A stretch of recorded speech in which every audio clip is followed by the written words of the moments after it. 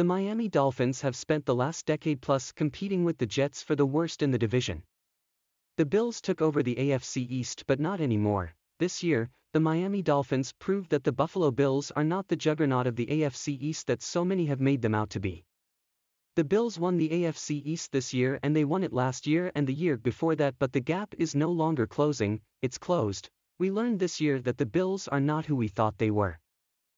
They are an on paper great team with a great quarterback, but we also learned they are not as dominant as everyone thought. The Bengals on Sunday destroyed the Bills in every facet of the game.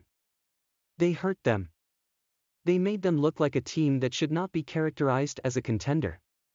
The Bills lost. At home. In the weather that is supposed to befit them, this was the same Bills team that almost lost in the wild card round to the Dolphins. A Dolphins team with an injured but playing Xavier Howard. A missing Tua Tagovailoa and a seventh-round draft pick who had little experience. Miami was missing starting offensive linemen, and starting running backs banged up on defense and had exceptionally bad time management on the final drive. Miami should have won that game but they didn't. It was a great effort and a good game but it showcased that the talented Bills are not a powerhouse, they are not the Chiefs and they are not the Bengals. The Bills are a great regular season football team but this year we learned that the Dolphins are not afraid of them, Miami beat them in South Florida. They came within three of beating them in Orchard Park after losing two games in a row on the road, and of course, the wild card game which nearly shook the NFL world. For Miami fans, the Dolphins are still trending north.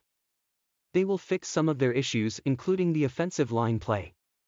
A new defensive coordinator should, hopefully, bring new energy to the defense and put the players in a better position to maximize their talent. Offensively, we should get better just with Mike McDaniel gaining more experience. Will Miami win the AFC East next season? Maybe. Maybe it will be the New York Jets who are building a quality team as well.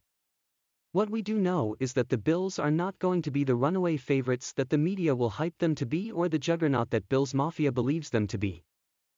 No, we learned this year that AFC East can belong to anyone and the race for the division title next year is going to be one hell of a competition.